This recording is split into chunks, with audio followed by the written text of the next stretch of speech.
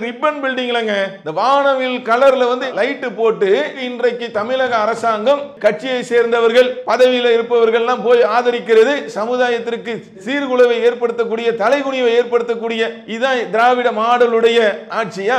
இது தேவையா? கடவுள் படைத்த விதி என்னன்னு பாத்தீங்கன்னா ஒரு ஆண் ஒரு பெண் அவங்க ரெண்டு பேர் திருமணம் செய்ய வேண்டும். அதன் மூலமாக அந்த குடும்பம் பல்கி பெருக வேண்டும் என்பதுதான் இறைவன் வகுத்த நீதி. அதற்கு மாற்றமாக ஆணும் ஆணும் சேருவோம் பெண்ணும் பெண்ணும் சேருவோம் என்று சொன்னார் எச்ஐவி பாலின நோய் என்றெல்லாம் சொல்லுவாங்க அது பெருகாதா? அதெல்லாம் பெருகி அதுல பல பேர் உயிரிழந்த பிறகுதான் நீங்க இதுல ஆக்ஷன் எடுப்பீங்களா? திராவிட மாடல் ஆட்சிக்கு தெரியலையா? பகுத்தறிவாளர்களுக்கு இது புரியலையா? எப்படி இதுக்கு வந்து அனுமதி கொடுக்க போச்சு? அன்பார்ந்த சகோதர சகோதரிகளே செய்தியும் சிந்தனையும் என்ற இந்த நிகழ்ச்சியிலே பல்வேறு செய்திகளை நாம் அறிந்து வருகிறோம். அதனுடைய தொடர்ச்சியாக இன்றைய தினம் நாம் அறிந்து கொள்ள இருக்கின்ற செய்தி எல்ஜிபிடிக்யூ என்று சொல்லக்கூடிய ஓரின சேர்க்கையாளர்கள் அவங்க நடத்தின அந்த பேரணியை குறித்து அதற்குண்டான அந்த தகவலை நாம அறிந்து கொள்ள இருக்கிறோம். இவங்களுடைய சிந்தனை என்ன இவர்களுடைய கொள்கை என்ன இவருடைய பின்னணி என்னன்னு பார்த்தீங்கன்னா ஆணும் ஆணும் சேர்ந்து கொள்ளலாம் பெண்ணும் பெண்ணும் சேர்ந்து கொள்ளலாம் எந்த விதமான கட்டுப்பாடும் கிடையாது. ஒன்றுக்கும் மேற்பட்டவர் கூட என்ன செஞ்சுக்கலாம் சேர்ந்து கொள்ளலாம் என்று சொல்லக்கூடிய இப்படிப்பட்ட வக்கர புத்தி கொண்ட இவர்களுடைய இந்த பேரணி தான் சென்னையிலே நடைபெற்று இருக்கிறது இதற்கு சுயமரியாதை பேரணி என்று பெயர் வைத்திருக்கிறார்கள். இந்த மாதத்திற்கும் என்னவா? சுயமரியாதை மாதம்.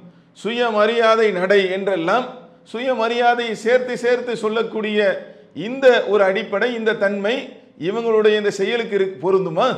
இப்படிப்பட்ட கேடுகட்ட இந்த செயலுக்கு இவர்கள் வைத்திருக்கக்கூடிய இந்த பேர் என்பது பொருந்தாத ஒன்று. அதில் மிக முக்கியமாக நம்ம பார்த்தோம் அப்படின்னா தமிழக அரசாங்கம் நம்ம ஜனநாயக அடிப்படையில் அரசாங்கம் நமக்கு வழங்கியிருக்கக்கூடிய நம்மளுடைய கருத்துக்களை சொல்வதற்கு நாம் முனைந்தால் பல்வேறு கிடுக்குப்புடிகள் நீங்கள் வந்து அங்கே சொல்லக்கூடாது நீங்கள் இங்கே பேசக்கூடாது நீங்கள் அப்படி வரக்கூடாது இப்படி பண்ணக்கூடாது என்று பல்வேறு கிடுக்குப்பிடிகள்.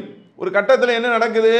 கன்னியாகுமரி மாதவிழா என்று சொல்லக்கூடிய பகுதியில் ஒரு பொதுக்கூட்டம் போட்டு இளைஞர்களுக்கு விழிப்புணர்வு. இன்னைக்கு மது பார்த்தீங்களா கள்ளச்சாரத்தை பார்த்தீங்களா கள்ளக்குறிச்சியில் அத்தனை பேர் மரணம் அடைந்திருக்கிறார்கள் மதுவை குறித்து விழிப்புணர்வு ஏற்படுத்துவதற்கு ஒரு பொதுக்கூட்டம் போடணும். நீங்கள் அப்படி பண்ணக்கூடாது. இங்கே போடக்கூடாது அங்கே போடக்கூடாது. பயங்கரமான கெடுபிடி. கோர்ட்டுக்கு போய் அனுமதி வாங்கி நடத்த வேண்டியது. அதுலேயும் உச்சகட்ட கெடுபிடி. ஆனால் இங்கே என்னது? இப்படிப்பட்ட சமுதாயத்திற்கு தலைகுனிவை ஏற்படுத்தக்கூடிய சீர்கேடை ஏற்படுத்தக்கூடிய இந்த வக்கர புத்தி கொண்ட இவர்களுடைய பேரணிக்கு அனுமதி. இதனால ஏதாவது தமிழ்நாட்டு மக்களுக்கு நன்மை இருக்கிறதா? இந்த சமுதாயத்திற்கு ஏதாவது நன்மை இருக்கிறதா? என்னங்க இதன் மூலமாக என்ன விதைக்கிறார்கள்? வருங்கால சந்ததியினர்கள் நம்மளுடைய பிள்ளைகளுக்கு இதன் மூலமாக ஒழுக்க கேட்டை இவர்கள் விதிக்கிறார்கள். எப்படி வேணாலும் நடந்து கொள்ளலாம். அதுதான் நடக்கும். இது மாதிரி எல்லாரும் நடந்திருந்தா இன்னைக்கு தலைமுறையினர் உருவம் இருப்பாங்களா? பிள்ளைகள் இன்னைக்கு இருந்திருப்பாங்களா? அவன் என்ன போடுறான் தெரியுமா? என்னுடைய உடல் என்னுடைய உரிமைன்னு போடுறான். ஏன் தமிழக அரசாங்கத்துக்கு இதில் தெரியலையா? இவர்கள் சொல்லக்கூடிய வாசகத்திலே தெரியலையா? எவ்வளோ பெரிய சீர்கேடு இது. ஆனால் என்னது? இதுக்கு வந்து அனுமதி. போன தடவைலாம் பார்த்தீங்கன்னா கனிமொழி என்று சொல்லக்கூடிய அவங்க போய் ஆதரித்து துவக்கி வைக்கிறது. இது தேவையா இது? அதுக்கப்புறம் தமிழச்சி தங்கப்பாண்டியன் அவங்க போய் ஆதரவு ஏற்படுத்தி அதை ஆரம்பித்து வைக்கிறது. இது தேவையா இது?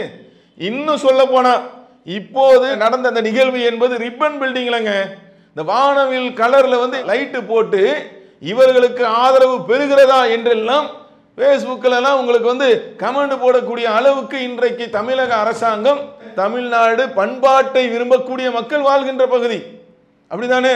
பல்வேறு இடங்களில் பல்வேறு மாநிலங்களில் தமிழ்நாட்டை எப்படி அறிந்து வைத்திருக்கிறார்கள்? கலாச்சாரத்திலே அப்படி இவர்கள் இருக்கக்கூடியவர்கள் தமிழ் பண்பாட்டை இவர்கள் விரும்பக்கூடியவர்கள் அதானே? இப்போ திராவிட மாடல் ஆட்சின்னு சொல்றாங்கல்ல இதானே? உங்களுடைய கட்சியை சேர்ந்தவர்கள் பதவியில் இருப்பவர்கள்லாம் போய் ஆதரிக்கிறது. இந்த மாதிரி வந்து சமுதாயத்திற்கு சீர்குலைவை ஏற்படுத்தக்கூடிய தலைகுனிவை ஏற்படுத்தக்கூடிய இதான் திராவிட மாடலுடைய ஆட்சியா? இது தேவையா? இந்த மாதிரி நடக்கக்கூடிய ஒன்றை இரும்புக்கரம் கொண்டு நீங்க எதுக்குங்க கடுமை காட்டணும்? ஜனநாயக அடிப்படையில் தங்களுடைய கருத்தை சொல்வதற்கு விழிப்புணர்வு ஏற்படுத்துவதற்கெல்லாம் தடை போடுறாங்க. கடுமை காட்டுறாங்க.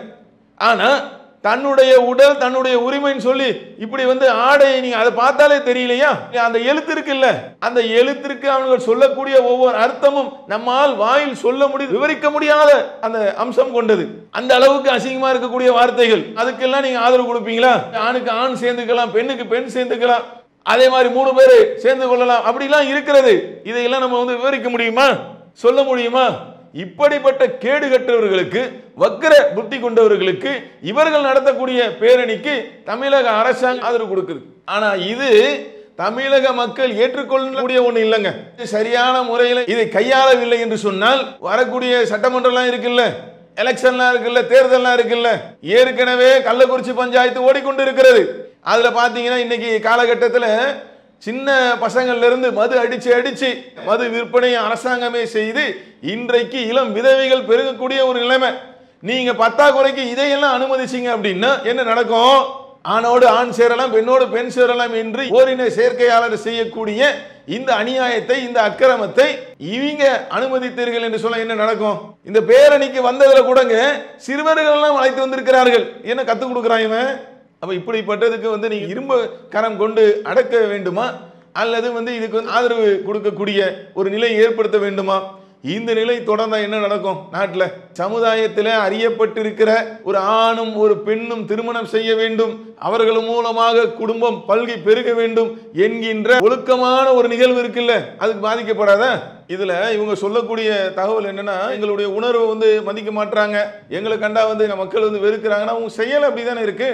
இது இந்த மாதிரி வந்து ரோட்ல வந்து அடையுடை ஆடையோடு ஆணு ஆணு சேர்ந்து கொள்ளலாம். இந்த மாதிரி நடக்கக்கூடிய நிகழ்வு மற்றவங்க பார்த்தாலே என்ன செய்கிறாங்க இன்றைக்கு செல்போனில் வானவில் கலர் அந்த மாதிரி வந்து யாராவது வைத்திருந்தார்கள் என்று சொன்னால் கூட மக்கள் வந்து என்ன செய்கிறாங்க தலை தெறிக்க ஓடக்கூடிய ஒரு நிகழ்வு இருக்கிறது. உங்களுடைய செயல் தானே காரணம்?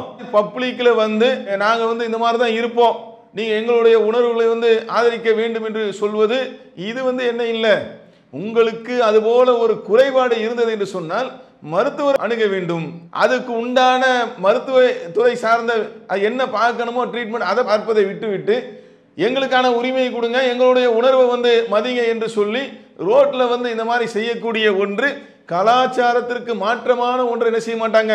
மக்கள் வந்து விரும்ப மாட்டாங்க. இதில் தமிழக அரசுக்கு நம்ம வைக்கக்கூடிய இன்னொரு கேள்வி என்னென்னா கள்ளச்சாராயம் வந்து இத்தனை பேர் வந்து இறந்திருக்கிறார்கள். உடனே என்ன செய்கிறது அவரை சஸ்பெண்ட் பண்ணு. இவரை வந்து பதவி மாத்து இவரை வந்து பதவி இருக்கு என்று பல பேர் உயிர் விட்ட பிறகுதான் வந்து நீங்க இந்த மாதிரி செய்வீங்களா? இப்ப இந்த இதுல நாங்க கேள்வி கேட்கிறோம். இதன் மூலமாக நல்லா தெரியுது கடவுள் படைத்த விதி என்னன்னு பாத்தீங்கன்னா ஒரு ஆண் ஒரு பெண் அவங்க ரெண்டு பேர் திருமணம் செய்ய வேண்டும். அதன் மூலமாக அந்த குடும்பம் பல்கி பெருக வேண்டும் என்பதுதான் இறைவன் வகுத்த நீதி. அதற்கு மாற்றமாக ஆணும் ஆணும் சேருவோம் பெண்ணும் பெண்ணும் சேருவோம் என்று சொன்னால் முன்னாடி எல்லாம் சொல்லுவாங்களே ஹெச்ஐவி பாலின நோய் என்றெல்லாம் சொல்லுவாங்க அது பெருகாதா? அதெல்லாம் பெருகி அதன் பிறகு அதன் மூலமாக எய்ட்ஸ் எல்லாம் வந்து அதில் பல பேர் உயிரிழந்த பிறகுதான் நீங்க இதில் ஆக்ஷன் எடுப்பீங்களா? நல்ல தெல்ல தெளிவாக தெரியுதுங்க. இதனுடைய நிகழ்வு என்பது இதனுடைய பின்னணி என்பது கொண்டு போய் எங்க தள்ளணும் இது தெரியலையா? திராவிட மாடல் ஆட்சிக்கு தெரியலையா? பகுத்தறிவாளர்களுக்கு இது புரியலையா? எப்படி இதுக்கு வந்து அனுமதி கொடுக்க போச்சு? ஆகவே இது போன்ற நிகழ்வு தொடர்ந்து நடைபெறாமல் அவருடைய அந்த உடல் ரீதியான அந்த குறைவுக்கு மருத்துவம் பார்ப்பதோ மற்ற வேலைகள் செய்வதோ அது தனி. அதனால வந்து அதே மாதிரி வந்து ஒட்டுமொத்த சமுதாயம் அதை நோக்கி பார்க்க வேண்டும். அதை நோக்கி வந்து ஆர்வப்பட வேண்டும் என்கின்ற அடிப்படையில் அதுக்கு தான் நடத்துறாங்க? எதுக்கு நடத்துறாங்க இது? மக்கள்லாம் பார்க்குற ஒன்றாங்க இது. இந்த மாதிரி வந்து ரோட்டில் இறங்கி தன்னுடைய உரிமைக்காக ரோட்ல இறங்கி போராடுவாங்க. அப்படிதானே? ஆனா இந்த மாதிரி ஒரு நிகழ்வு தமிழ்நாட்டில் நடக்குது. அதுதான் ரொம்ப வேதனையான ஒரு விஷயமாக இருக்கிறது.